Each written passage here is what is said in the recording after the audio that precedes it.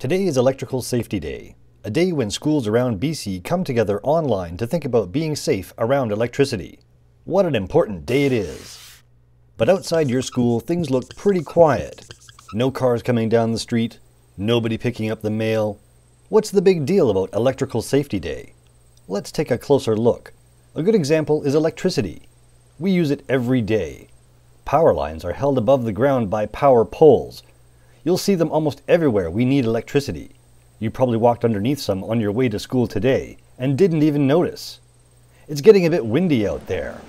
But before we continue, let's take a quick moment to have a discussion about power lines and the poles that hold them up.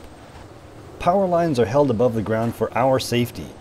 The poles keep the power lines a safe distance from where people walk, but sometimes things can go wrong. What was that? A broken power pole and live power lines that have fallen in the street are both electrical safety hazards. It's 3 p.m. and school is letting out for the day. The electrical safety hazards have just been discovered by four students on their way home from school. Downed power lines are dangerous. Electricity could be flowing through the power lines that are lying on the ground. It looks like these students know the three keys to electrical safety. See if you can spot them. That's one key. The only way to be sure you're safe is to stay back. Assume all downed power lines are live.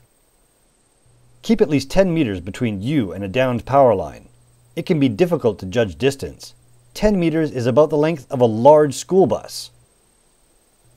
Now they're looking up to make sure there's no danger of more power lines falling. And looking down to make sure there are no other power lines where they are standing. That's another key. Look up and look down.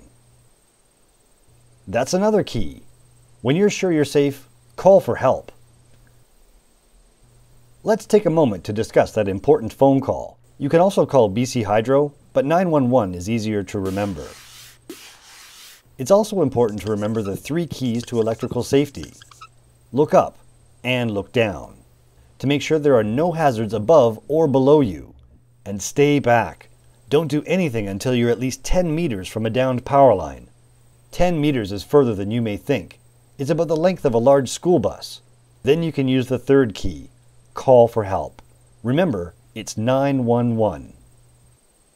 Thanks for taking part in BC Hydro's Electrical Safety Day. Help us spread the word about the three keys of electrical safety. Look up and look down. Stay back at least 10 meters. Then call 911 for help. Have a safe summer and always remember the three keys to electrical safety.